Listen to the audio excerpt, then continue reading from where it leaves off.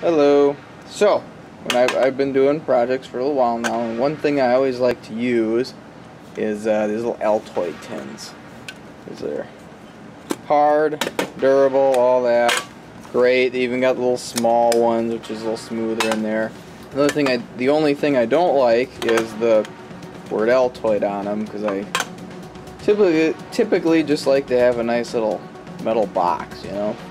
So. Uh, in order to strip these off of here, I read that there's two methods. I've never, I've never done this before, but I've read there's two methods. One, oven cleaner and plastic bags, where you spray the oven cleaner in there and leave it outside in a hot day uh, in the sun, and it's supposed to melt it off after you.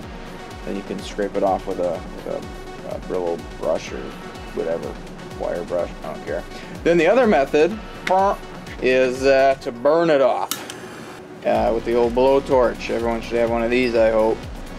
and that method is just direct, where you're actually just heating the metal up, and then the, the paint peels off, and then you you scrub it down. Uh, so I'm going to try both these methods, see which one I like better. So, uh, so let's get to it.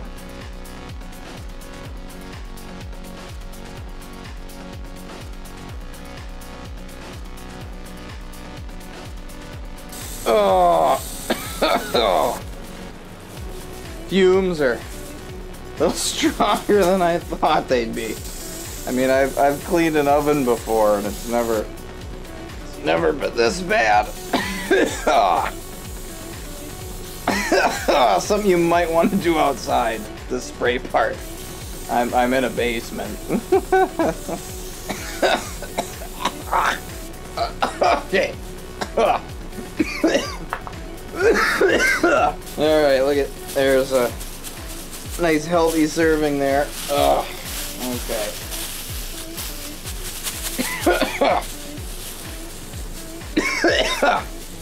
definitely do that outside. Oh. like I said, I've never done this before.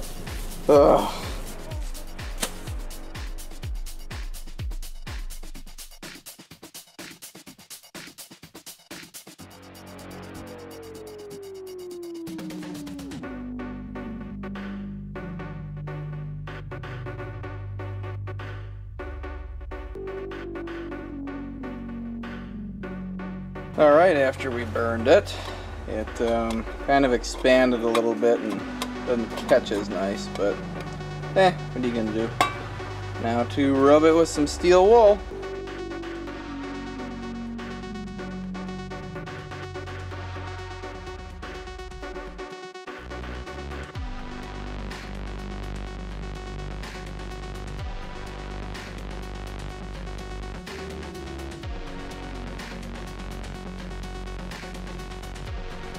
Let's flatten this Altoid thing out too while we're at it.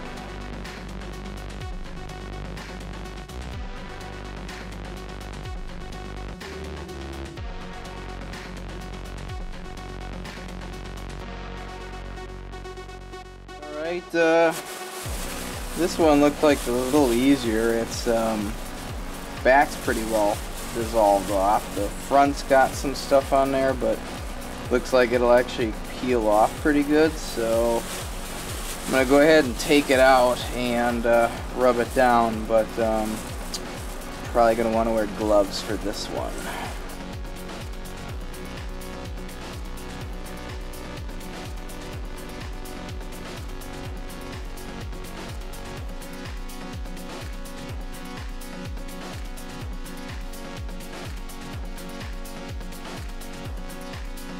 Alright, that went a little better than I thought it would actually.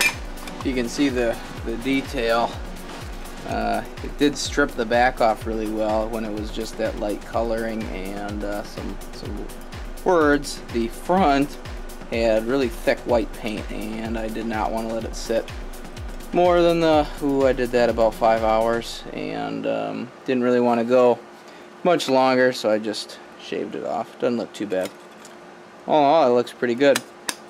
This method did not hurt the uh, structure of it, so it feels just like it does when it had candy in it.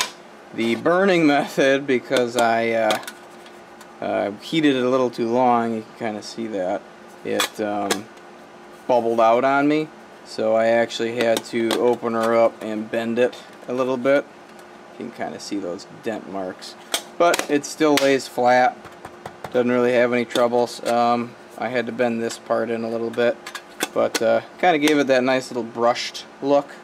So uh, if you want it to just be kind of metal, let this sit in the thing a little longer. But uh, the heat's pretty much instant. Uh, you're not going to get away from using the steel wool, but uh, I don't know. If you got the time to waste, just let it sit in some oven cleaner. Uh, you could also paint these if you wanted, but that's up to you. Alright, that'll do it.